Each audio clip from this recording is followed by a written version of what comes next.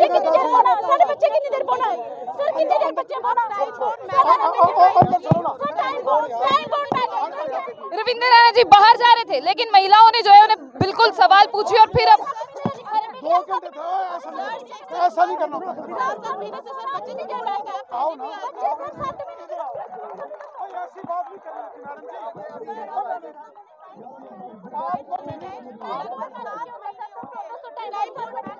एक बार बात करते हैं दोबारा उनसे।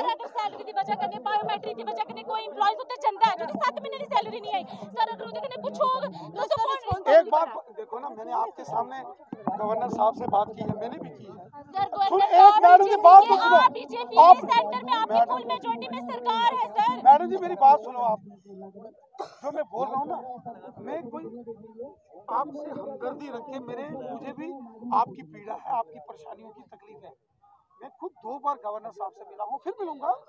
समाधान करेंगे सर क्यों परेशानी से जूझ हम रहे हैं ना आपको है परेशानी हम समझते हैं अगर मुझे हैं, हैं अगर परेशानी मुझे सुनिए अगर मुझे परेशानी नहीं होती मैं आपके बीच में आता सर हम आपकी तहे दिल से शुक्रगुजार है रिक्वेस्ट आपके वेलकम किया हमने आपका दूसरी बार भी। सर लेकिन परेशानी से हम जूझ रहे हैं आप लोग समाधान- छोटे छोटे बच्चे हैं, सर पूरी फैमिली सफ़र कर रही है। समाधान निकालो।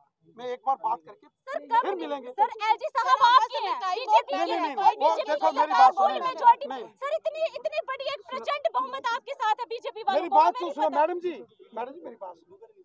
एलजी साहब कॉन्स्टिट्यूशनल पोजीशन पर हैं ठीक है? और मैं पहले भी दो तीन बार उनसे मैं दो बार मिला हूँ।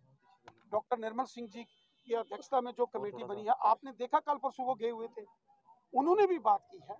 हम चाहते हैं कि जल्द से जल्द आपके इस इस समस्या का समाधान हो। तो में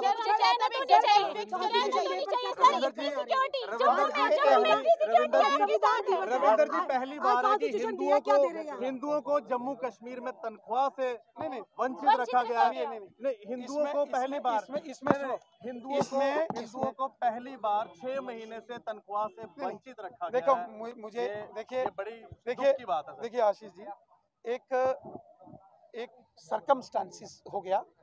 और मैंने पहले कहा है कि इस प्रकार के हालात पहले भी बने। ये वो एम्प्लॉयज़ है जब 370 टूटा इन्होंने दिन रात काम मेरी- करके सैलरीज रिलीज़ की लोगों मेरी मेरी बात लेकिन आज मेरी- मेरी बात का सुनो। वादा किया था जब कश्मीर जब कश्मीर बंद होता है ये सैलरी रिलीज़ करते हैं वहाँ पर काम करके। नहीं सुनिए। क्या मेरी छह महीने मेरी मेरी स्वयं लेफ्टिनेंट गवर्नर साहब से बात हुई है।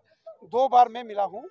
डॉक्टर निर्मल सिंह जी की मुलाकात हुई है और कहीं ना कहीं जो है मुझे लगता है कि इस सारे मामले पर जल्द फैसला आज लेने की जा रहे हैं? आज मैं इनसे आज आज संविधान पहले भी आपने कहा देखिए मैं कोई चीफ मिनिस्टर नहीं हूँ कि मैं मैं कोई चीफ मिनिस्टर तो हूँ नहीं कि मैं मैं आप। तो मैं आपको दिक्कत ही नहीं आएगी। आपको कभी दिक्कत नहीं आएगी? तुझे सारे ही में जम्मू नहीं। आना है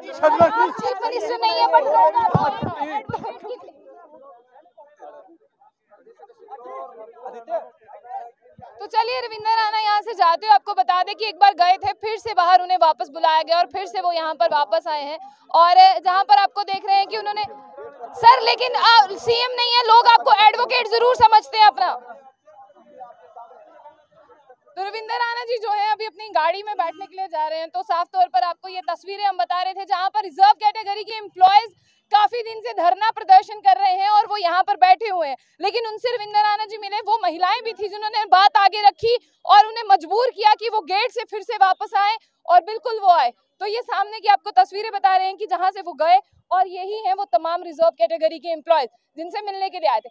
हालाँकि आपको बता दें कि करवा चौथ और दिवाली थी, उन्होंने कहा कि बहनों को करवा चौथ का तोहफा देने आए हैं। और साथ ही साथ दिवाली का तोहफा जो है इन्हें देकर जा रहे हैं। तो ये कैसा तोहफा था जो अभी तक मिला नहीं था? तो अभी आपने पूरी बातचीत सुनी, अपनी राय ज़रूर साझा कीजिएगा। तो ऐसी और भी अपडेट्स के लिए देखते रहिए जम्मू बुलेटिन आशा का।